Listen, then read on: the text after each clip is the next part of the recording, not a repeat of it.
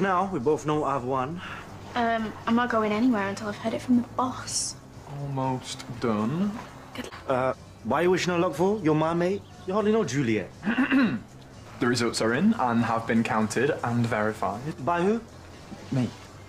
And I am thrilled to announce that the winner of the competition to become my dad's trusty new assistant is. Juliet! No, no, no, no. I demand a recount. Oh, don't be such a sore loser. I won fair and square. At least there's one good thing about Juliet winning. Oh, yeah, what's that? It spared me having to spend the day with you. Funny. Peri! I did it! Did what? I won the competition. I got the job. Oh, great. What's wrong? Do you really have to ask? I've just spent the whole time in the cinema sat alone instead of cuddled up next to you. It's just empty promises, Juliet. As always. Wow. She doesn't mince her words, does she? You okay? How long have you and Peri been a thing? A couple years now. You look like you make a good couple. I, I think she was just disappointed you didn't get to spend the day together. I'm scared there's more to it than that. Yeah? We're great most of the time, but every now and again things get a little pear-shaped. And it's always over stupid, tiny things that don't even matter.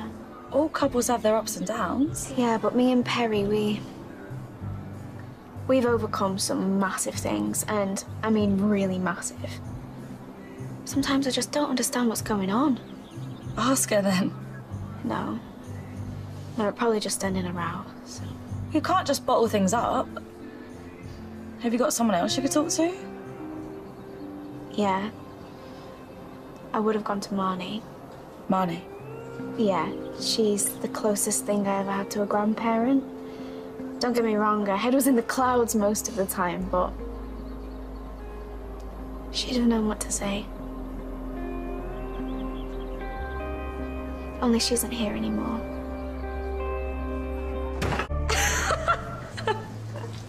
So, um, do you think you could help me and Peri work out what's going on?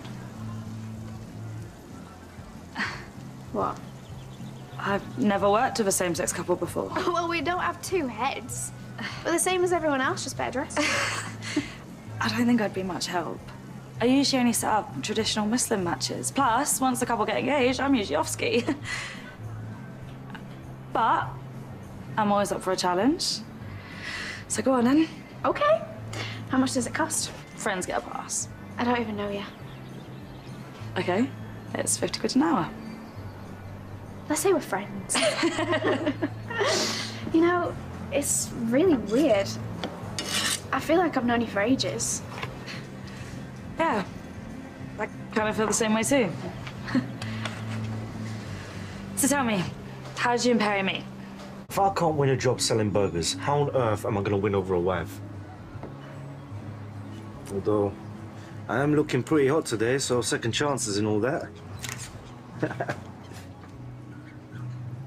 Nancy, listen to me.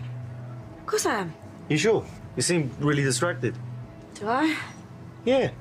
You know, it reminds me of that time you had a crush on that guy from school, the one who played trombone. Oh. I mean, how you fancied him is still beyond me.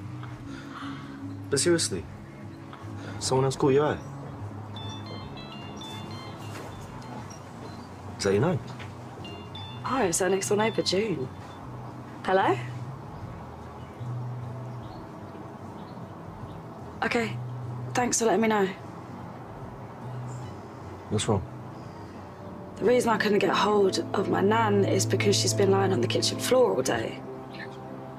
June was worried because she hasn't seen her today, so I peeked through the kitchen window and saw her. She's been rushed to hospital.